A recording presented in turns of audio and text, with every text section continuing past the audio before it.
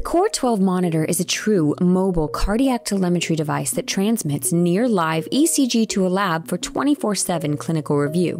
When setting up the core, the patient must first be enrolled in the lab portal. For a tutorial on our lab portal, visit the tutorial tab on acsd4u.com. Once the patient is added and enrolled on the lab portal, apply the leads to the patient using the diagram.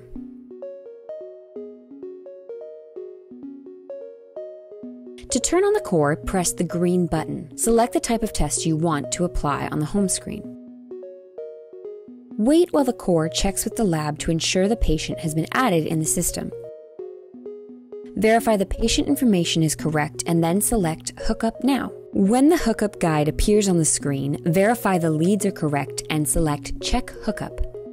You should see two clear lines of ECG reflected. To begin the test, select Start Test. The Now Monitoring screen should appear, signifying that the test has begun.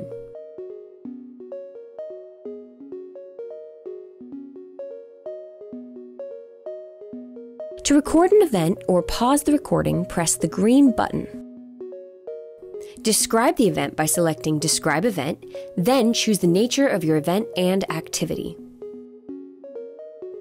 Select Save to send the event to the lab.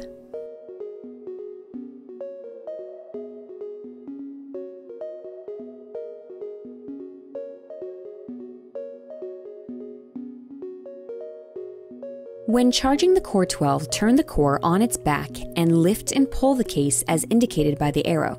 To remove the battery, lift from the indent on the top of the battery. Insert the battery into the charging case and plug the case into an outlet.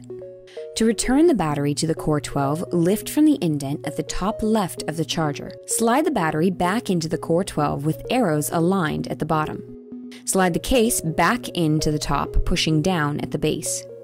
When starting a new test, insert the leads at the back of the Core 12 device, ensuring they are pushed in fully to the back of the core. Thank you for watching. For more information, visit acsd4u.com or call the number on the screen.